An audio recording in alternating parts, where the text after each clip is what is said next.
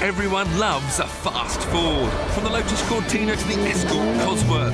Highly developed versions of run-of-the-mill motors have been built to allow the blue oval to take to the tracks and blow away the opposition. And now, fans of Ford look set to be in for another real treat. But this time, the modified metal isn't based on some shabby saloon car like the others. It's based on the Puma, Top Gear's Car of the Year in 97. So with such a promising start, how can it possibly fail?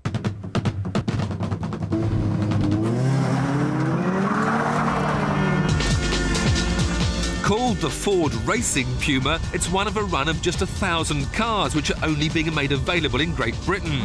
But this time, despite its name, it's a limited edition that isn't actually intended for racing. It's been developed by Ford Racing Europe with a brief to turn the standard Puma into an even purer driver's machine.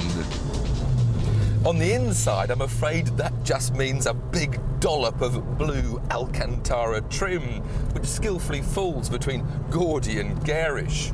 And the Racing Puma only comes in blue. It's also got one of these horrible half and half steering wheels. It's the same wheel as on the standard Puma, they've just added the Alcantara on this little bit. And it's not even stuck on very well, so it provides a very inconsistent grip. Not nice at all.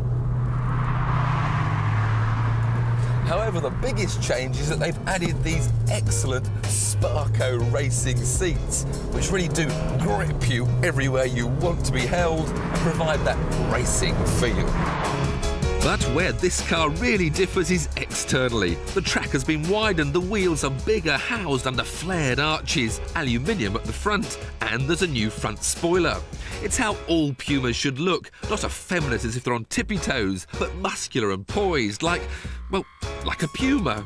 Of course, there's more to those changes than just good looks. Those bigger wheels hide uprated brakes, and stiffer springing provides race car grip. So, how does that translate into the real world? Well, that depends on what sort of surface you're driving on. If it's billiard table smooth, then it's brilliant. But find a few bumps and odd cambers, and all of a sudden it's darting about all over the place. Now I think I'm beginning to realise what sort of racing driver this racing Puma is designed for. It's not the real world one, it's the computer kid who's constantly used to making lots of little tiny corrections to keep his imaginary car on the road.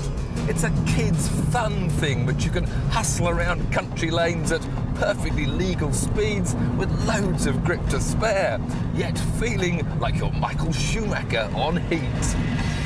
Engine tweaks up the power to 153 bhp, but when you actually look at the figures, it's only 3 miles an hour faster than the standard Puma and about half a second quicker to 60.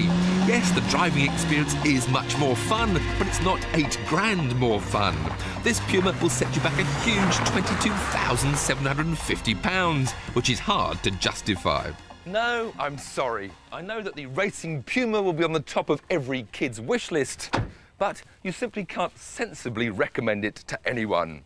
It's just an overpriced child's toy. Cut. Is that it then? All done?